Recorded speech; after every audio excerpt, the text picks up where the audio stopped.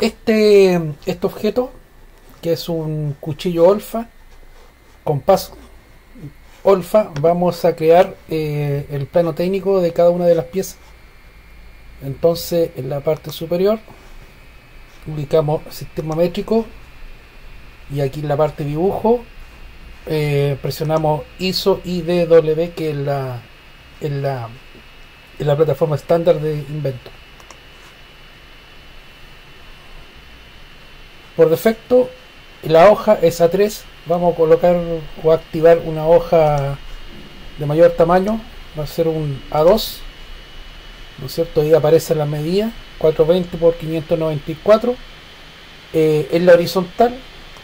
Y sobre este, este espacio vamos a insertar o el ensamble o cada una de las piezas. Entonces en base ubicamos en este caso yo creo que la pieza más compleja es este que es la guía de color amarillo abrir. La posicionamos eh, en la horizontal. Está 1 a 1 está muy pequeño vamos a agrandar la escala. Entonces a 1 yo creo que por ahí está bien en color con líneas eh, ocultas y aceptar. Entonces lo primero para poder eh, crear las cotas eh, el método es, lo primero es, por ejemplo, saber el ancho y el alto de la pieza. Entonces, anotar, vamos a colocar el largo específico de la pieza, desde ese punto al punto extremo de la derecha. Tenemos a 140 milímetros. Y después el alto de la pieza, que sería de ese punto con este punto. Eso es lo más básico que se puede hacer en cuanto a un acotado. Después, la distancia entre centros, que sería de ese centro con este sobre esta ranura y volvemos a acotar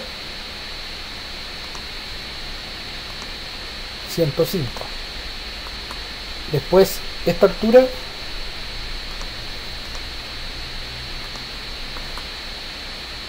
y esta, este largo, ¿no es cierto? Ahí se puede ver que está demasiado junto, lo seleccionamos y lo subimos un poco. Em, a esta pieza que tiene varias, tiene unos recovecos acá, uno lo podría ver acá en el plano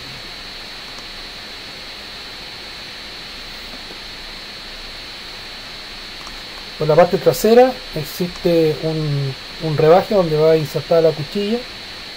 Por la parte delantera tiene esos separadores para que la tuerca sea este, fija, ¿no cierto?, sobre esta ranura. Vamos a ir al plano y vamos a crear un abatimiento, ¿no cierto?, que se mira desde la izquierda pero se dibuja a la derecha, tal como lo hace la, la norma ISO. E. Entonces, vamos a hacer una vista proyectada y la desplazamos hacia la derecha mirado desde la izquierda ahí se puede ver ¿no es cierto? Lo miro de acá y se dibuja a la derecha acá en este caso si yo colocara cota en esta parte quedarían muy juntas entonces vamos a hacer un detalle constructivo por ejemplo ahí ¿no es cierto? es el detalle a 4 a 1 ¿no es cierto? 4 veces la dimensión y ahora podemos acotar sin ningún problema porque ya el formato es más grande entonces anotar marcamos la marca entre centro nuevamente. Una cota ahí otra cota acá. Aquí hay que ser muy minucioso entonces aquí tenemos otra cota. Una cota eh, del radio. Del ángulo. Esta la podemos desplazar sin ningún problema. Igual que este aquí falta la altura que se puede colocar aquí adentro o la podríamos desplazar hacia la izquierda también. La distancia que hay desde un borde al borde externo. Faltaría esta distancia para hacer lo que en este caso esta geometría. También la vamos a mover hacia la izquierda.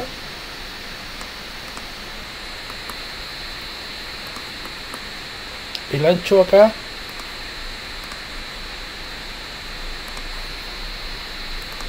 Y también lo vamos a desplazar hacia abajo. Esta, esta, letra A se puede mover en cualquier lado y si lo hacemos doble clic se puede cambiar la altura incluso o la letra que aparece ahí incluso esto lo podemos cerrar. Y a medida que yo lo cierro. Cierto? el detalle también se va transformando. Acá. Ahí se puede ver la línea de rotura. Esta pieza vamos a hacer una línea de mm, un eje bisector. Marcamos acá lo tiramos entonces sabemos que la figura es geométrica. Si marcamos este eje y lo tiramos de los puntos verdes la podemos extender hacia arriba y hacia abajo eh, falta una cota donde está posicionada esta perforación entonces de un extremo hasta el otro extremo tenemos eso vamos a colocar ahí y esta la vamos a desplazar hacia la derecha.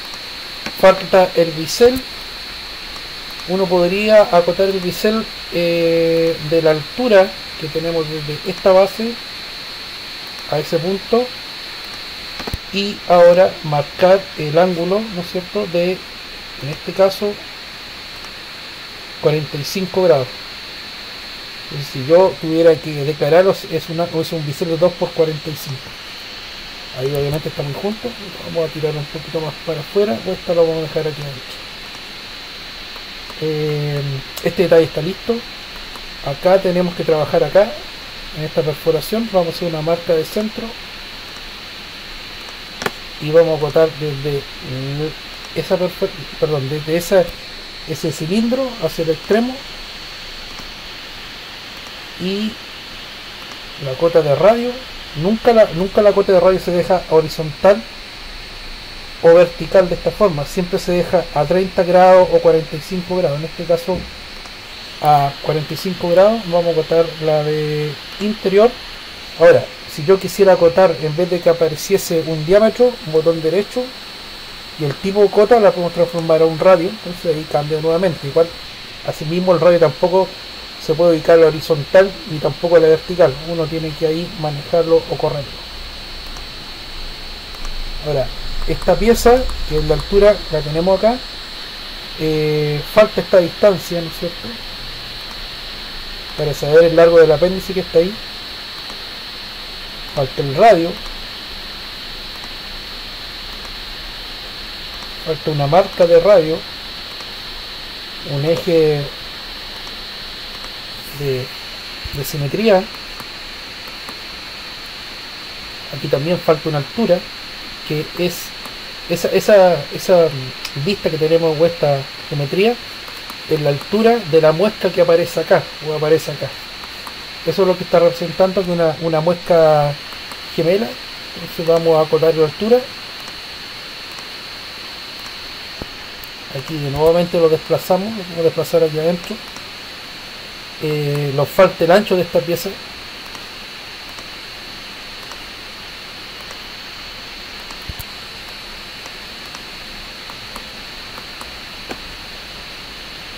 Acá lo que falta es la distancia la tenemos. Aquí en este caso falta acá hay un ángulo. Entonces eso perdón es ese ese ese vértice con este lo va a dar un ángulo de 11,31 porque es una necesario cortar al otro lado es una pieza gemela ni tampoco esta parte de acá porque sale por construcción pero sí lo que hay que cortar es la distancia de ese punto a donde nace el ángulo. Pero no, no es necesario acotar lo que está acá, ahí ya está listo. Tenemos la distancia, la distancia de, centro. Falte, falta acotar el, alto máximo, bueno el alto máximo está acá. Tenemos el ancho, faltaría esta vista que no la tenemos, que es la vista posterior, tal como aparece por acá atrás. Ahí justo donde va el, cuchillo y eso y esa vista es la vista que se mira desde la derecha pero se dibuja hacia la izquierda. Entonces hacemos una vista auxiliar pero en este caso la vamos a batir hacia la izquierda como está afuera nosotros tenemos que empezar a correr o acomodar el plano. Vamos a subir un poco hacia arriba hacia acá y esta vista la movemos hacia adentro. Entonces tenemos que acotar esta parte que es donde se recibe el plano. Mira aquí hay una hay una distancia importante que falta que es la del borde de la guía con este extremo ahí ya lo podemos detectar ¿no es cierto? porque ya tenemos este ancho el ancho de la guía entonces la suma del 18 más, más el 30 nos da esa diferencia que está ahí que sale por construcción entonces ahora vamos a acotar esto que sería el alto ¿no es cierto? el ancho esta, esta, este sector que esta dimensión que es más pequeña la, ah, la colocamos hacia afuera. El ángulo que hay acá ahí me equivoqué entonces ángulo oh, de nuevo.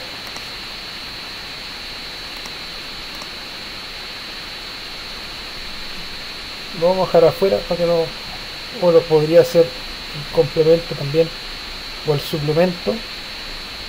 Vamos a dejar afuera como el, como el ángulo preciso solamente. Eh, acá falta si yo trazo el ángulo necesito saber esta medida también porque no sabemos dónde comienza. Ejemplo ahí. Vamos a, a mover un poquito hacia afuera. Y en este caso tenemos dos alternativas. Podríamos acotar esta dimensión en la horizontal o esta en la diagonal. En este caso por norma se, se, se aplica o se, se usa la de la vertical ante la diagonal. Entonces acotamos ahí.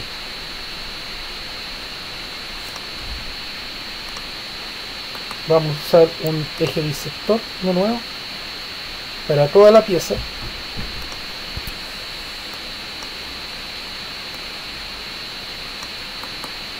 sabemos que está centrado nos falta en este caso el ancho de esta guía.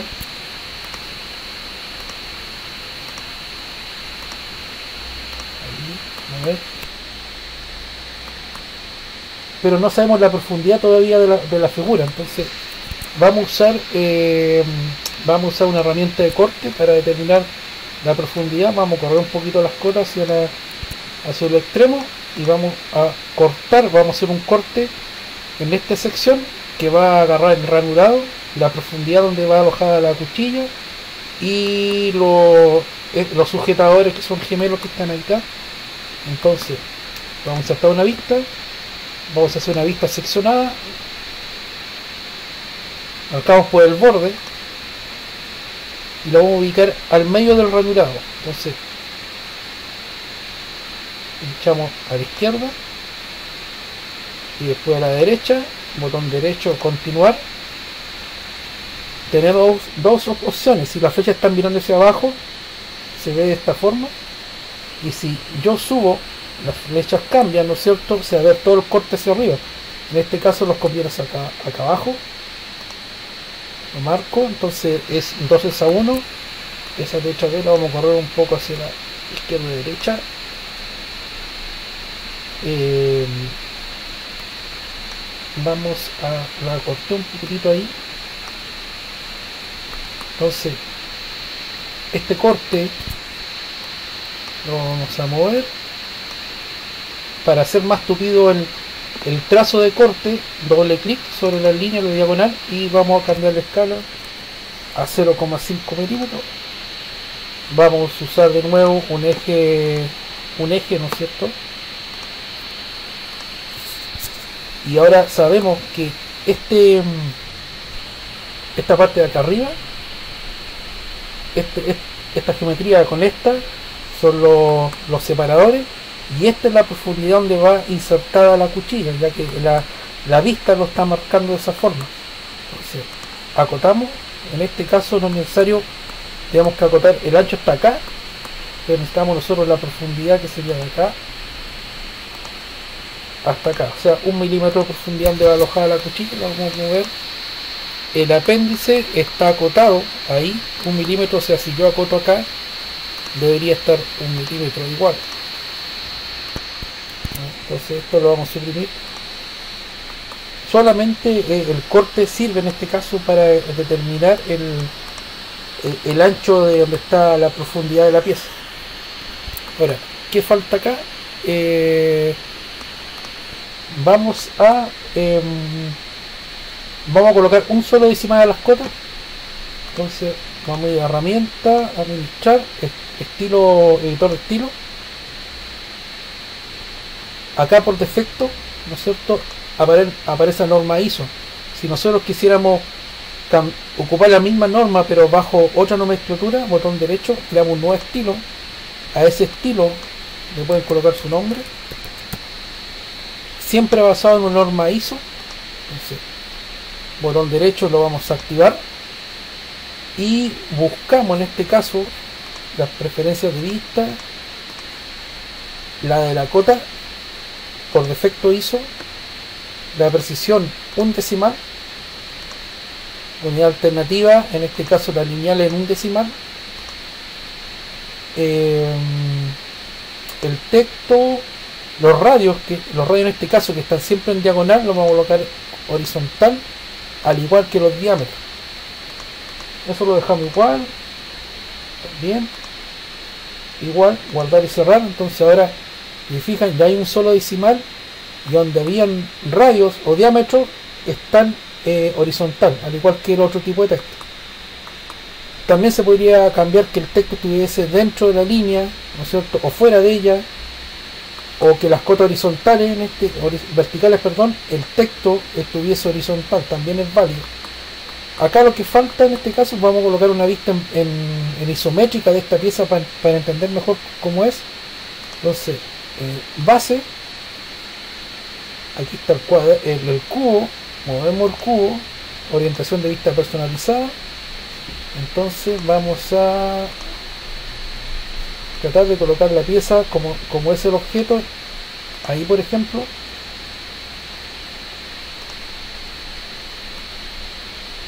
Está muy grande vamos a bajar uno a uno para ver si puedo insertar dos vistas. Ahí. Vamos a insertar otra vista por detrás o, mostrando el, donde se coloca la cuchilla. Entonces nuevamente a la guía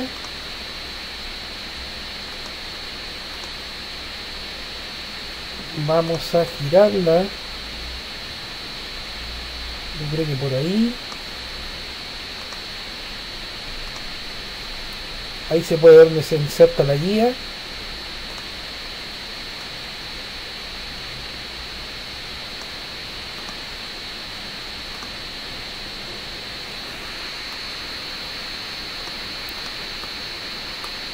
Acá falta eh, la viñeta indicativa de lo que es esta pieza. Entonces anotar. Lista de pieza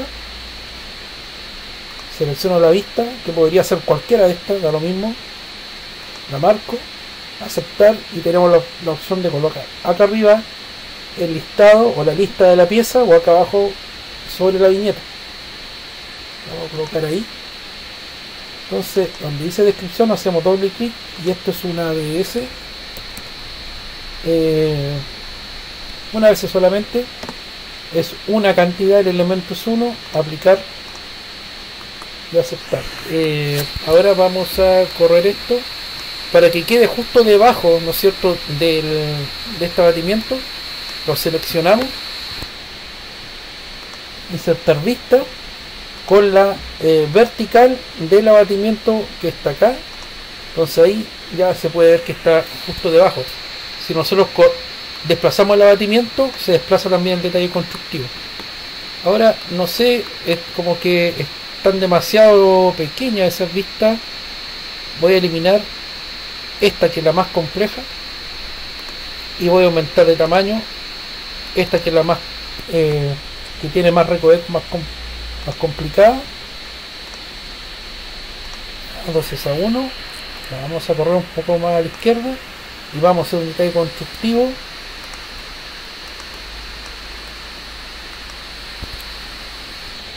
ahí me.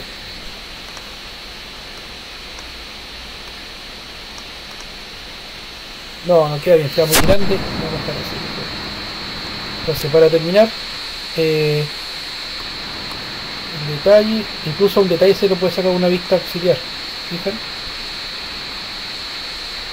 Ahí se puede ver, pero no es muy, muy correcto. Bueno, eh, yo voy a seguir con las otras piezas. Este es el método para sacar un plano técnico de una pieza. Voy a llenar la, todo lo que es la viñeta y el video voy a dejarlo sin audio. Así que gracias por la atención.